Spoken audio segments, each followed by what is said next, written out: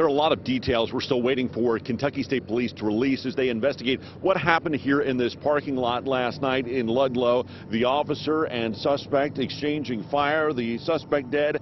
The officer will recover. Let's walk you through everything we know right now. This started with a traffic stop. A Ludlow police officer pulled over a maroon GMC minivan along Elm Street here in Ludlow. They pulled into the parking lot of the Family Dollar and the Pizza Hut. Something happened. There were several shots fired. Both people were hit. The officer survived, the driver did not.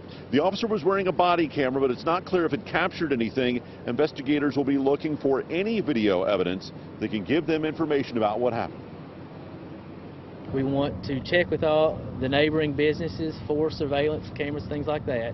Uh, as you said, there's been a lot of people down here tonight. So if any of those people seen anything, we, we want the opportunity to talk to them to find out what they did see. I feel bad that this had to happen right before the holidays.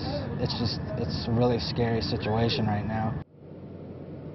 Again, Kentucky State Police are investigating this shooting. It was a Ludlow police officer that was involved. We expect KSP to release more information, including maybe the names of the two people involved a little bit later this morning. Reporting live, Andrew Setters, WLWT News 5.